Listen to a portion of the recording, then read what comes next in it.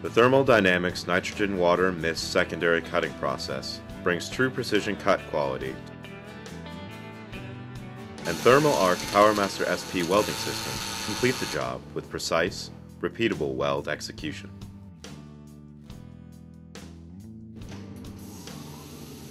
Nitrogen plasma has long been the preferred process for cutting aluminum.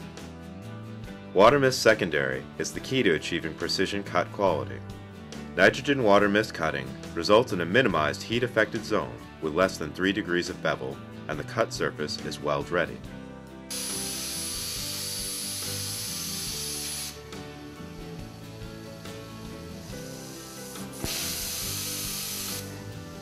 During the cutting process, the water mist separates into hydrogen and oxygen molecules.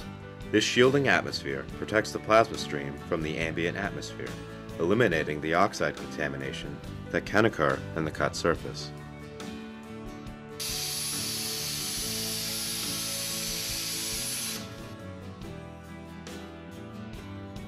The result is a clean, ready to weld cut surface with no contaminants that can lead to occlusions and porosity in the weld.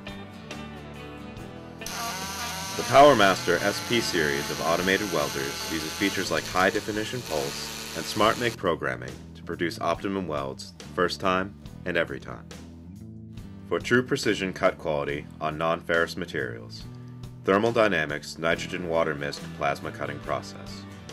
For more information, contact your local Thermadyne sales representative or call 1 866 279 2628 for Thermadyne automation support.